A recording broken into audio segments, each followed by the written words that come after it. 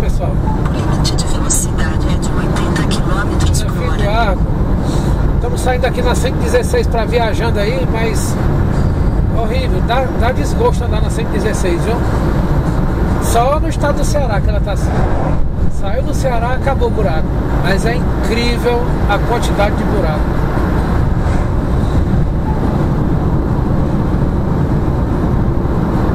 Estamos aqui eu, Kimberly Brito. Já tá enchendo o saco já aqui. E é isso aí, o sol nascendo aí já é 5 horas, 5h50, 6 horas.